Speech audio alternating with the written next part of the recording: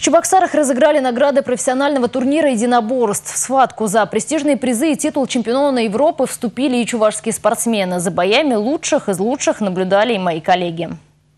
Чувашские бойцы задали тон турниру уже на предварительных поединках. Хозяева ринга не оставили соперникам никаких шансов. Они одержали победу в шести из семи схваток.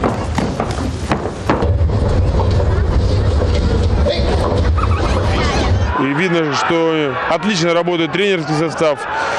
У парней есть блеск в глазах, есть желание, стремление. А значит, э, не, скажем так, за далекими буграми э, олимпийские медали, чемпионаты мира. И также, что касается моего спорта, смешанных наборств, э, возможно, отсюда с Чувашии будут загораться и новые звездочки нашего спорта ММА. Программа турнира насыщена. На ринге за призовые места боролись боксеры, кикбоксеры и поклонники Панкратиона. В Чебоксары приехали лучшие спортсмены из Ульяновска, Дагестана и Москвы.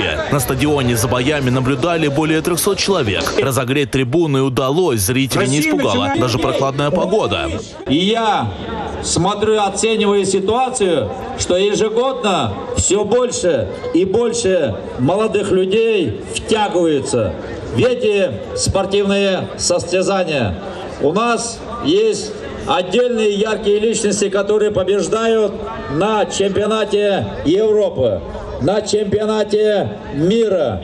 Но главными героями этого вечера стали чемпион Узбекистана Нуридин Джамалов и обладатель Кубка мира Артур Шишокин. На кону главный трофей турнира – пояс чемпиона Европы.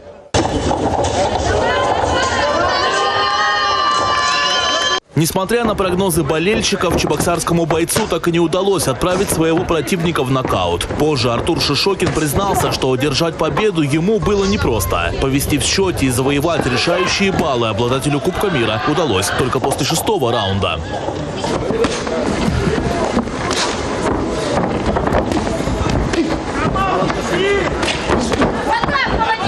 Против лома чемпиона Узбекистана приемов подобрать не удалось. Заветный поезд достался хозяину ринга. Все помогает. И стены, и болельщики, и тренировка. Постоянные тренировки. Все равно уверен в себе.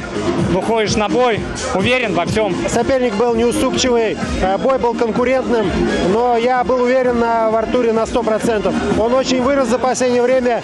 Но в ближайшее время Артур Шишокин начнет подготовку к бою за титул чемпиона мира среди профессионалов. Организаторы планируют провести его также в Чебоксарах. Дмитрий Ковалев и Олег Якимов. Республика.